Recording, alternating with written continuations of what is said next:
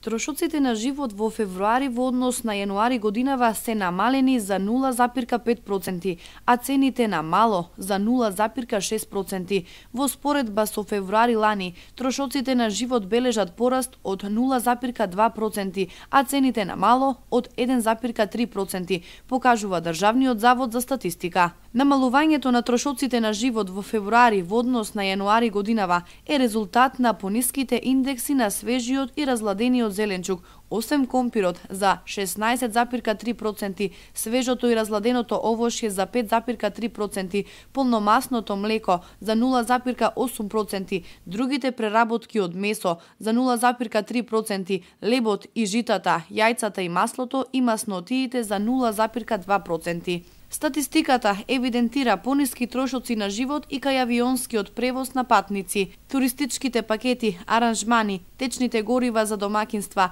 отпадната вода, играчките, мебело за домакинствата, материјалите за одржување и поправки на станот, услугите за лична хигиена и предметите за лична хигиена и здравје. Според податоците на Државниот завод за статистика, пораст на трошоците на живот во февруари во споредба со јануари годинава е забележан кај замрзнатите морски плодови за 4,3%, безалкохолните пијалоци за 1,8%, другите преработки од риба и морските плодови за 1,7%. Во февруари исто така пораст на трошоците на живот е забележан и кај весниците, книгите и канцеларискиот материјал за 4,6%, гасот за домакинства за 4,3%, болничките услуги услуги за 3,5%, телефон и телефакс апаратите и телефон и телефакс услугите за 3,4%.